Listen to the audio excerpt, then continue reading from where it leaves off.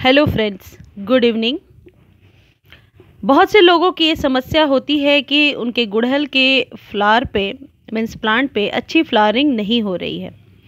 तो आज के इस वीडियो को देखने के बाद आपकी ये शिकायत दूर हो जाएगी। वीडियो को अंत तक देखिए और यदि जानकारी अच्छी लगती है तो चैनल को लाइक शेयर और सब्सक्राइब करना ना भूलें।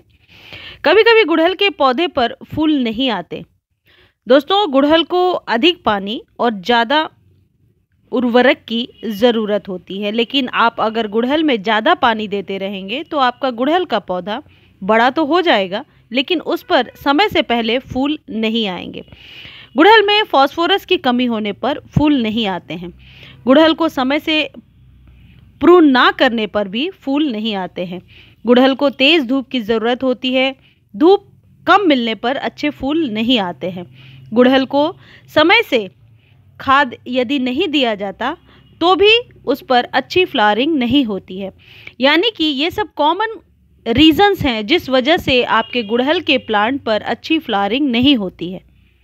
फ्रेंड्स यदि आपके भी गुड़हल या गुलाब के पौधे पर फ्लावरिंग नहीं हो रही है तो आज आप इस खाद का इस्तेमाल करने के बाद बहुत ही जल्दी, यानी विद इन फिफ्टीन डेज़ आपको अच्छा रिज़ल्ट मिल जाएगा। यह है बनाना पील जो सभी के घरों में बहुत ही आसानी से मिल जाता है, इसे छोटे छोटे टुकड़े में कट कर लिया है मैंने। इसे बनाना बहुत ही सरल है। आप इनके छिलकों को बनाना के जो छिलके हैं चार पाँच केले के छिलके ले लीजिए और एक सवा लीटर पानी ले लीजिए और प्लास्टिक का एक कंटेनर जिसे ढक्कन से बंद किया जा सके यह खाद अधिक मात्रा में बनाने के लिए आप अधिक बड़ा कंटेनर ले सकते हैं। लेकिन मैंने एक लीटर का बॉटल लिया है। दोस्तों, सबसे पहले छिलके को कंटेनर में डालना है और उसे पानी से भर देना है। फिर आप इस कंटेनर को उठाकर छायादार जगह पर रखिए, जहाँ पर धूप ना आए। बीच बीच में इस कंटेनर में भरे केले के छिलके के मिश्रण को किसी लकड़ी की सहायता से हिलाते रहिए, जिससे आपकी खाद अच्छी तरह से तैयार हो सके। सात से दस दिनों में आपका बनाना पील फर्टिलाइज़र बनकर रेडी हो जाएगा। इसके बाद आप इसे प्रयोग कर सकते हैं। इसका प्रयोग करना भी बहुत ही सरल है। जिन पौधों में आपको यह खाद डालना है, उन सभी पौधों में खाद डालने से पहले दो घंटे पहले पानी लगा दीजिए। उसके बाद बनाना पिल फर्टिलाइज़र का प्रयोग करें।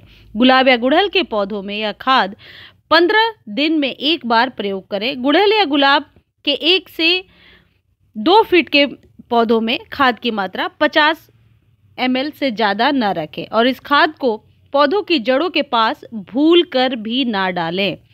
फ्रेंड्स, ये चीज़ आप ज़रूर याद रखें कि ये बनाना पील जो फर्टिलाइज़र है, आप इसे नॉर्मल वाटर में मिला करके ही दिया करें।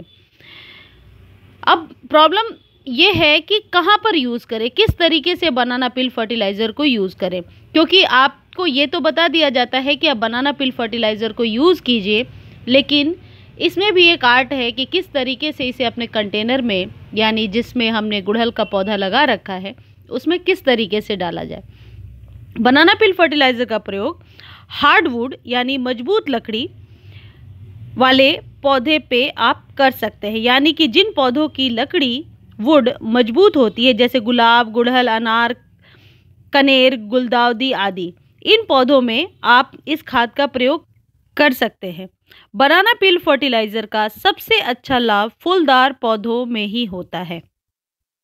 फ्रेंड्स, साथ ही साथ आपको ये भी पता होना चाहिए कि कहाँ पर बनाना पील फर्टिलाइज़र का इस्तेमाल नहीं करना है। जैसे सब्जियों में कोमल पौधों में ना करें, अडेनियम, सकलेंट आदि में ना करें और चार महीने से छोटे कोई प्लांट आपने लगा रखा है, जो अभी अभी ग्रो करना जिसने शुरू किया है, उसमें बनाना पील फर्टिलाइज़र आप ना दें। बनाना पील फर्टिलाइज़र इस्तेमाल करने से पहले, आप दो घंटे पहले उस गमले को हल्का नम कर लें, यानी पानी का छिड़काव कर दें। बनाना पील फर्टिलाइज़र को हमेशा शाम में देना चाहिए, बल्कि कोई भी खाद लगाने से पहले आप अच्छे तरीके से देख लें कि आपका पौधा ज़्यादा कमज़ोर तो नहीं खाद की जो मात्रा आप लगा रहे हैं, वह आपके पौधे के लिए कहीं ज़्यादा तो नहीं, या इन सभी बातों का आप ज़रूर ख्याल रखें। वैसे गुड़हल के लिए आप थोड़ा ज़्यादा भी इस्तेमाल कर सकते हैं, क्योंकि गुड़हल का पौधा हम हमेशा बारह से, बारह इंच से ऊपर के कंटेनर में ही लगाते हैं, तभी वह ग्रो कर पाता है। फ्रेंड्स, आप इन केले के छिलकों को सुखा करके भी इस्तेमाल कर सकते हैं। केले के सूखे छिलके में 42 परसेंट पोटेशियम होता है। पोटेशियम पौधों के विकास के लिए काफ़ी ज़रूरी होता है। पोटेशियम की सहायता से पौधे खनिज लवण के साथ संक्रिया कर पौधों के विकास को प्रेरित करते हैं। अगर आप अपने पौधों में ज़्यादा फूल लेना चाहते हैं तो बनाना पिल फर्टिलाइज़र का प्रयोग करना शुरू कर दीजिए। यह बहुत ही आजमाया हुआ नुस्खा है।